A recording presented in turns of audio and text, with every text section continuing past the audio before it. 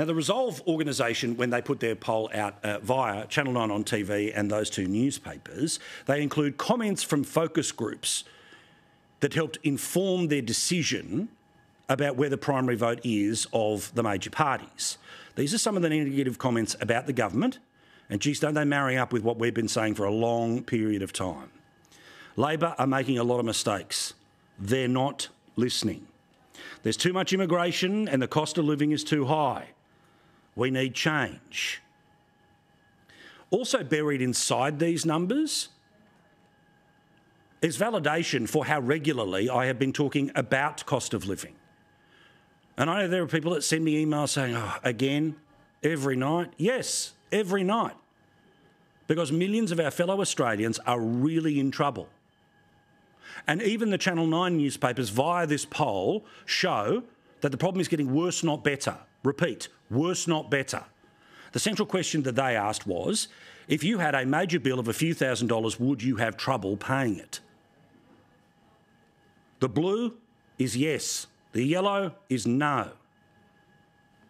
You can see that in July of last year, it was 51% of people who said yes. Tonight, it's 55%. The too little, too late tax cuts help politically when it came to the lead up to Dunkley, but it is not going to shape the immediate future of this government. Because while this government is getting ready for yet another surplus, yet could make decisions about everything from petrol taxes to that automatic tax return, they will not make those choices because they want to have two budget surpluses in a row. Aren't we amazing? We manage the economy better than anyone else.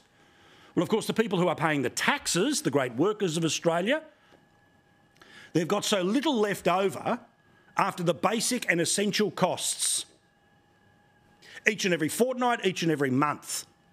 That now the highest number since the question was asked in this version of economic trouble, in the left teal green loving parts of the mainstream media, it shows us 55% of people would struggle to pay a major bill because they've eaten into their savings, they've run up their credit card, and the monies that do come in each and every month has been eaten up by, among other things, mortgages and remember, the people who say relief, relief because they didn't increase interest rates this month, well, they're talking through their hats.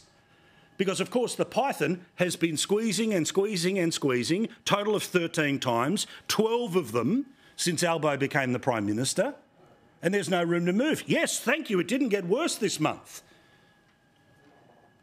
But stable is not better by any question. As for the Prime Minister's performance, guess what? 45% of people now saying that his performance in recent weeks, poor to very poor. Geez, I wonder if they were feeling what we were feeling last week when we, it felt pretty lonely to say it, but still, when we were out there talking about the Prime Minister and his response to the events in Bondi last week. Now, I know there were several hosts who at other times uh, uh mentioned things, particular shout out to Sharri Markson for her comments uh, in the latter part of last week, and I'll get to some of this in a second. But some of the perceptions of the Prime Minister, the bloke who thinks that he's going to rule forever because, you know, he's got this special connection, he's just another politician and he's just another politician who's BSing to you.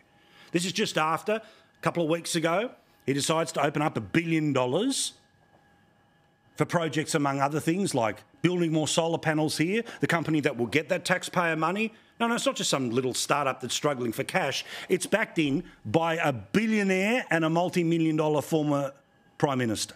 Yet they got taxpayer money. Last week, well, we of course had to quickly move on from all of that unpleasantness and pretend that we were talking about a future made in Australia when Australians know that we don't even make copy paper in this country anymore. Some of the comments again about the Prime Minister. He's trying to pursue issues that aren't important to the country. He needs to focus. Cost of living just keeps going up. He's basically done nothing becoming clearer each day that he supports elite causes, not the average person. Boom, boom, boom.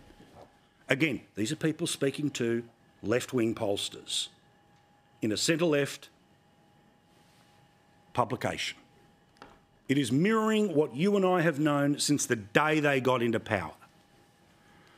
That they said a whole bunch of garbage to tick a box to get over the line. And then once they were over the line, they pull up the drawbridge, they'll pretend that they're in it for you, but your job is to just shut up and pay tax. Shut up and pay more tax. Oh, but everyone's getting a tax cut. Well, again, I repeat, for the people whose backside is right out of their strides, 15 bucks a week. For the people who might have a little bit of cotton, let alone cushion, they're having to pay anywhere between fifteen and thirty thousand dollars more to pay off a home loan right now under this government.